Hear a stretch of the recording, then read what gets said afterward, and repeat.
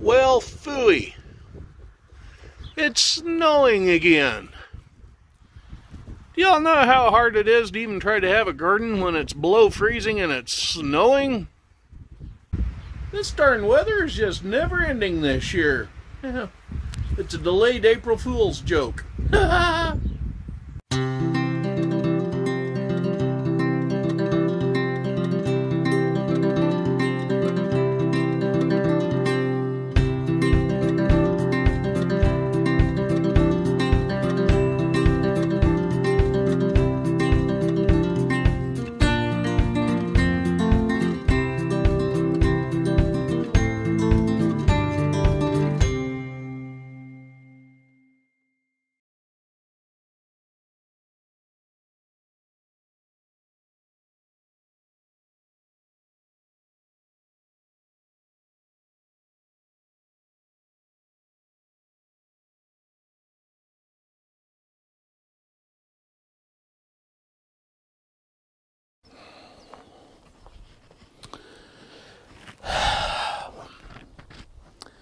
Howdy, everybody. Dave here with Nelson Creek Farms.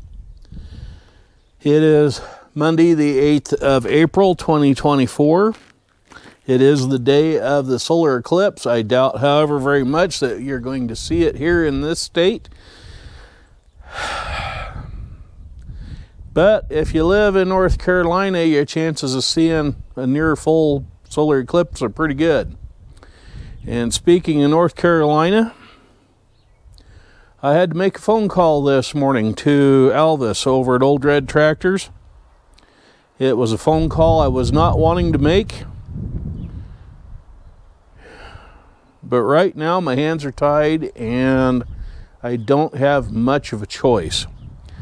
And I'm sure I have disappointed him because he's been busting his tookus trying to get things ready for my visit.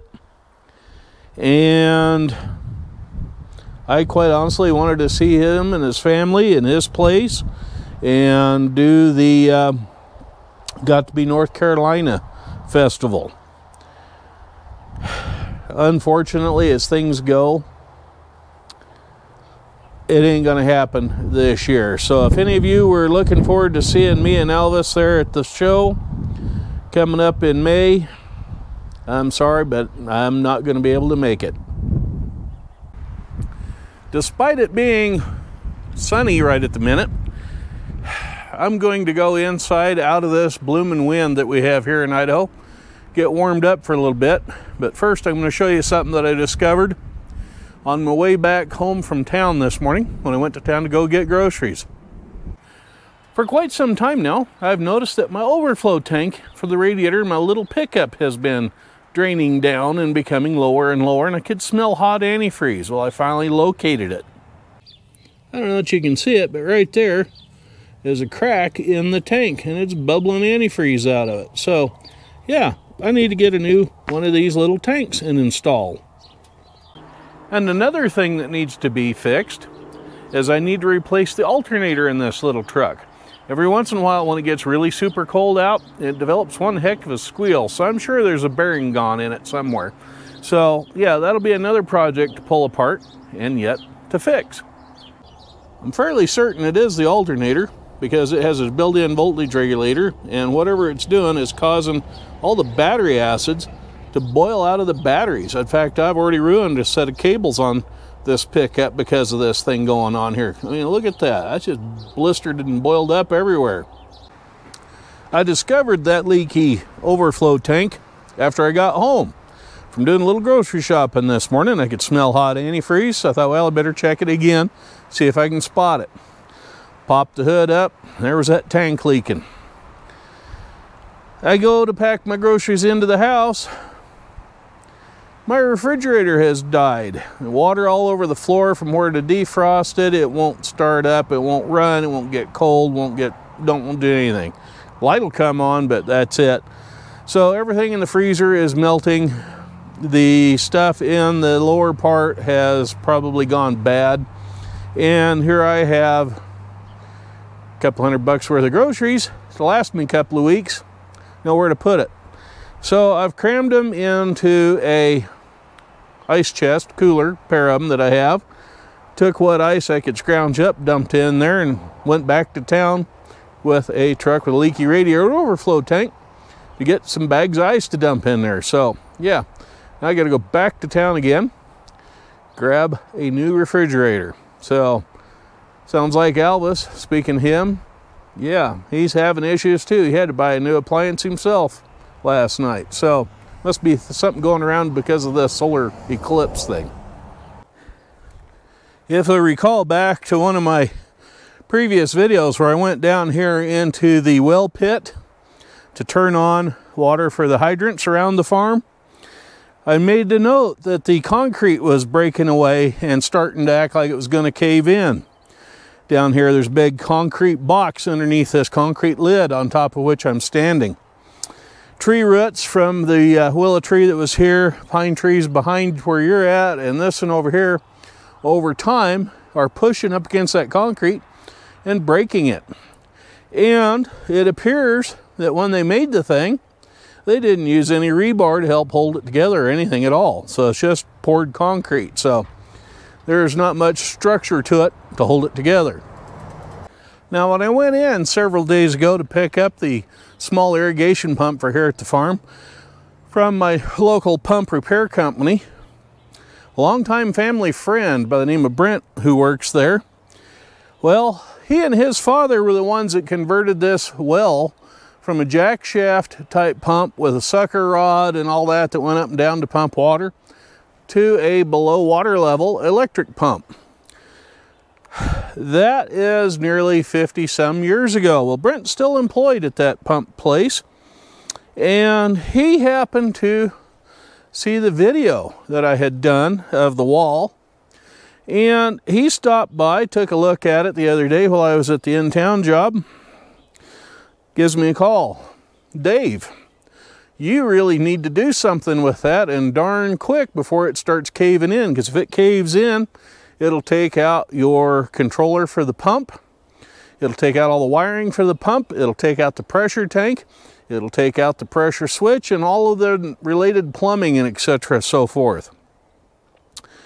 So his recommendation is we pull this wood cover that I'm got my foot on off. We pull the pump out, we put in a well casing and we do a pitless style pump system here. We relocate the pressure tank, the control valve and all that stuff into the basement of the house, which is going to take wiring and replumbing and a bunch of other things. So, yeah. If I'd have known I was going to be facing this expense before I bought some of the implements that I've mentioned that haven't gotten here yet, I would have held off on buying those and fixed this. Because I got to have water for the house to do laundry, to drink, for whatever. So, yeah, this is going to be a major project and I'm going to have to tackle this year because I haven't got any choice. Yeah, while all this has been going on and the foul weather that we had with all the snow, the pellet stove that I heat my house with decided to take a dump on me. It's not working. So I get a hold of ComfortBilt again. They are hiring a technician to come out and take a look at it find out what's going on with it, and we'll go from there. Uh, I've tinkered with it myself. I put that spare motherboard in it, put in new fuses, changed out the igniter. Yeah. So, do I recommend ComfortBilt pellet stoves? Nope, not at all. Uh, am I going to get something different? We'll see if this guy can find it and fix it. I can't imagine it's anything major. I imagine it's something probably pretty stupid. But let me tell you, when the overnight lows were down into the upper 20s, it got darn cold in that house, even with four of those little space heaters running. Now, Saturday in the mail, I got a thing from the uh, Idaho Department of Motor Vehicles telling me that my driver's license needs to be renewed. Well, I can go online and renew it, but I don't have that enhanced card or the star card as they're called. And if I'm going to take my early retirement in a few years, I'm going to have to have that so I can get into the Social Security building to take care of me getting on Social Security in about three years. Yeah. Fortunately, this year I did not need that info yet. They pushed it back to 2025 for me to fly domestically. So I was going to fly back and see everybody in North Carolina. Well, that just isn't going to happen. So I still got to go ahead and pay the state of Idaho for all the information that they already have to give it back to them so I can pay them to have a driver's license. You see the theme there? Yeah, it's a money grab thing putting that stupid star on your driver's license card. It's nothing. It's just a way for the state and the federal government, something they've come up with to take your tax dollar and mine. Now, the real kicker that has popped up that I got an email on the other day is from Phil McGrane or McGran, Idaho Secretary of State. Yeah, this thing right here. State seal on it, the whole nine yards. It is in reference to the Corporate Transparency Act. Yeah, another thing the damn Democrats have come up with to get your money. Says attention Idaho business entities beginning on January 1st, 2024, many companies in the United States will have to report information about their beneficial owners, i.e., the individuals who ultimately own or control the company. Businesses must report the information to the federal government Financial Crimes Enforcement Network, the FinCEN, it happens to be a bureau of the Department of Treasury. The Corporate Transparency Act is a federal law enacted by the U.S. Congress, which is controlled by the demo rats. To determine if your business is required to file this information, please visit the website and it gives you the address. And then it has annual report filing requirements, etc., so forth and so on. Well, years ago, I filed the farm as a business or as a business doing business in the state of Idaho, thinking that it was going to do the fresh produce thing and sell produce and whatnot out of a roadside stand. Well, I don't know that that's going to happen, honestly, folks, because I'm going to call the Secretary of State's office, find out what the deal is on that, and I'll probably have to unregister Nelson Creek Farms as a business, doing business in the state of Idaho uh, to keep me out of trouble because if you get to reading the fine print on this, you can be facing a $10,000 fine per day or whatever it is and or jail time. So yeah, I got to get this taken care of. So, yeah, always something I got to deal with. And the government's not making it any easier to do business. Darn shame.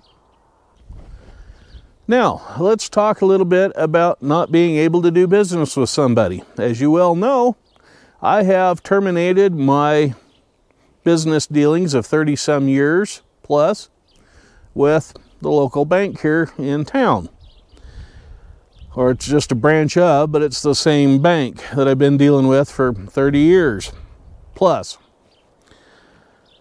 They're still jerking me around on trying to attempt to get me a loan for the ag implements that I've already paid for via a loan through another bank. Long story short, short the first bank I went to Set everything up the lady. She said, we'll have to run a credit report. No big deal, yada, yada. Filled out all the paperwork, sent it in. She disappeared, as I think I mentioned. Well, everybody that touched it at that bank, at the branch or at the corporate office or wherever, every single one of them ran a credit report. So you know what that does to your credit score. So when I went in two weeks ago, this last Friday, talked to the nice folks at the new bank. They said, yeah, sure, no problem. make your payments on that uh, loan for at least a year, your credit score will go right back up. Because I was originally just going to have them issue a cashier checks for every piece of equipment that I was going to buy. And they said, no, no, no, no, no. We'll help you rebuild your credit. You get a loan from us, even though it's you can write a check for this stuff. Get a loan from us, make payments on it for at least a year, and your credit score will go right back up again. So, yay. I got a letter the other day from the First Bank still wanting more information. They're still yanking me around trying to get me to do business with them. Well, evidently they haven't realized I've gone in and closed all my accounts. yeah, took all my money out and closed them up. Now, speaking of closing, and nobody willing to play ball. I went to yet again another insurance company to talk to them about getting some liability insurance just on the farm and some of the new equipment that I'm getting. With the option of picking up insurance for the corn maze and pumpkin patch. Well, I all of a sudden get a text message from the guy at the insurance company wanting to come out, pay a visit to my home to look over the house, the barn, the garage, the shop, the shed, take pictures of all the above so you can send it in to their underwriters. So I, whoa, time out, thought about it overnight a little bit, sent him back a nice little email the next morning, not a text message, but an email, stating that I was not asking for homeowner's insurance. I did not want the home, the garage, etc. covered I just wanted some liability insurance to prevent me from losing everything should somebody step in a gopher hole, twist an ankle, that sort of thing. Get a cut from a ear of corn because the leaves on the corn stalk uh, can be very sharp and cut quickly. And didn't want anybody tripping over vines of the pumpkins. So, yeah, now they're trying to get me to insure car, home, whatever on that policy uh, yeah, if they're not going to play ball with me, I'm not going to fool with them. Uh, I'm not going to waste any more of my time dealing with people that can't deal with what I'm looking for and wanting to do. Um, I, I don't have the time to deal with it. I've lost my patience. My patience has been fried from dealing with retail customers, let me tell you. So, yeah. Um, yeah, just burned out and done. So either they learn to play ball with me or they're out. That's just it. Uh, I'll pull that Donald Trump thing again and you're fired. But you know what? Today wasn't all bad news.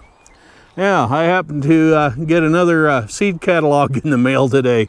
So yeah, I'm gonna sit down this afternoon and see what I can't live without because if I don't hear back from the insurance agent, I won't need to be buying a whole bunch of sweet corn to plant the corn maze. So, uh, yeah, we'll go from there. But one way or the other, we will have a garden plot out here because, by golly, I'm looking to have some watermelon growing this year. Yeah, I do kind of like that watery fruit. So, it's supposed to be good in antioxidants and cancer fighting stuff. So, I'll eat me a bunch of watermelon this year, if nothing else. Maybe I can lose a few pounds that's going to wrap it up for today. Thank you all for watching. To you new subscribers, please bear with us. As soon as the weather gets better, we'll be out in the field working with antique equipment, antique tractors, everything from 8N Fords to Farmall H's, you name it, Allis-Chalmers. So we will get there, but just not today. And for Penny, you don't have to worry about getting Elvis Snibale money because I'm not going to be able to make it to North Carolina this year. So Anyway, thanks again for watching. And for those of you that are watching and following along that haven't subscribed, I would really appreciate it. Just right down there, all you gotta do is click on that big red thing with the white letters that says subscribe on it. I'd like to see if we can hit a thousand subscribers by the end of the year. I'd really love it if we could do it by July 1st, but apparently I don't have the content to attract a whole bunch of new viewers, so, or some such thing, either that or YouTube screwing with the algorithms again. Anyway, I'm Farmer Dave. I'm trying to keep my chin up, my nose above water. Y'all have a good one. Bye bye for now.